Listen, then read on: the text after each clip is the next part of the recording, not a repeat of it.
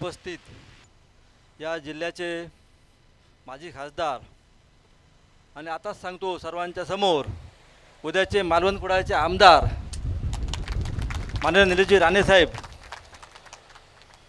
आणि उपस्थित सर्व मान्यवर व्यासपीठ म्हणतो कारण मी साहेबांबरोबरच बी जे पीमध्ये आलो. आणि बी जे पीमध्ये आल्यानंतर व्यासपीठ खूप मोठं असावं लागतं त्यामुळे मी शंभर लोकांचं व्यासपीठ बांधलं आहे म्हणजे कमी पडायला नको. नावं यायला गेलो तर शंभर लोक इथे बसले आहेत. तर मान्यवर व्यासपीठ म्हणतो साहेब ही चौथं वर्ष आहे या स्पर्धेचं. गेली चार वर्ष मी सतत निलेश राणेंचा वाढदिवस सतरा मार्च या दिवशी ही स्पर्धा घेतो. पण गेली दोन वर्ष एकदा मी स्पर्धा जाहीर झाली आणि करोनाचं जे संकट आलं त्या संकटामध्ये ही स्पर्धा मला कॅन्सल करावी लागली. त्यानंतर जसं सुरळीत चालू झालं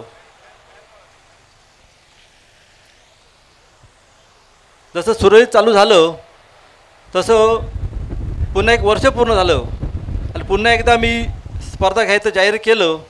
तशी स्पर्धा जाहीर झाली आणि लाईटचे टॉवर पण माझे उभारून झाले होते आणि पुन्हा एकदा कोरोना संकट आलं आणि पुन्हा स्पर्धा कॅन्सल झाली. आणि हे माझं त्याच्यानंतरचं वर्ष. आता पण जेव्हा जाहीर केली तेव्हा मनात भीती होती की पुन्हा काहीतरी संकट यायचं आणि स्पर्धा कॅन्सल व्हायची. पण सुदैवाने तर झालं नाही.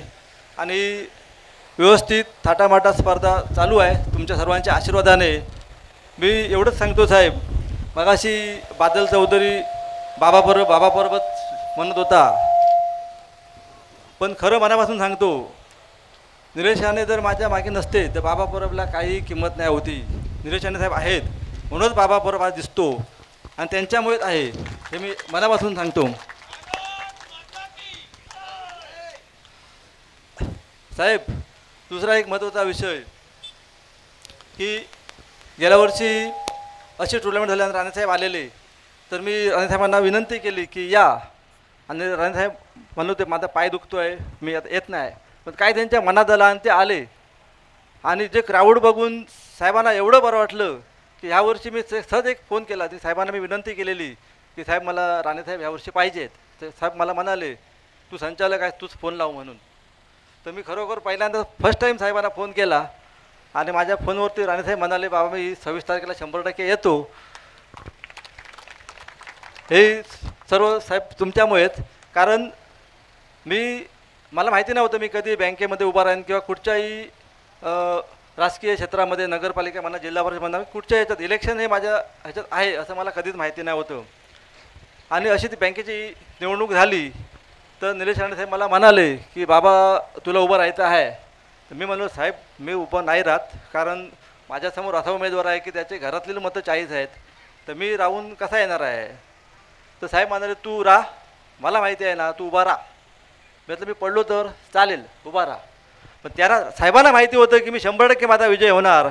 आणि जिथे जिथे मी जायचो प्रचार करते वेळी ही जी सर्व मंडळी जी बसली आहेत इकडे यामध्ये सर्व म्हणजे अशोक सावंत आमचे गोट्या सावंत समीर नलावडे अतुल कायशेकर पंडू कांगण आमचे दीपक पाडकर अ, सुधीर आचरेकर धोंडी चिंतरकर पण नावं घेत नाही. सर्वांनी मला एवढं सहकार्य केलं की मलाच माहिती नाही माझा विजय कसा झाला निर्माण. पण हे सर्व श्रेय मी माझ्या विजयाचं सर्व श्रेय मी राणे कुटुंबाला देतो आणि खास करून निलेशांड साहेबांना देतो. इथेच थांबतो. जय हिंद जय महाराष्ट्र. बाबा बाबा एक मिनिट. साहेब एक त्याला विचारू का फक्त? एकच आपली विनंती आपली परमिशन घेऊन. मित्रमंडळ बाबाला ना कायम म्हणत असतं आज साहेब येणार आहेत तर जरा सदरा घाल पण हा काय ऐकत नाही. तर त्याच्याच शब्दात जरा आपण ऐकूया त्यानेच सांगावं बाबाने की ही विनंती आपण का मानत नाही म्हणून. हे मला सांगत होते की तू सदरा घाल ॲक्च्युली सदरा घालतो पण आज मी घातला नाही कारण सदरा फक्त निलेश राणे साहेबांसाठीच आहे तो. मी निलेश राणे साहेब होऊ शकत नाही मी त्यांचा कार्यकर्ताच होऊ शकतो. धन्यवाद बाबा. यानंतर आपण निलेशजी राणे साहेबांना शुभेच्छा देऊया. त्या ठिकाणी आपण केक कट करून अभिष्ट चिंतन देऊया. वाढदिवस साजरा करूया. मी विनंती करतो की एक सुंदर केक या ठिकाणी आपण घेऊन यावा. तोपर्यंत अमोलला मी विनंती करतो त्यांनी कविता वाचन करून घ्यावं.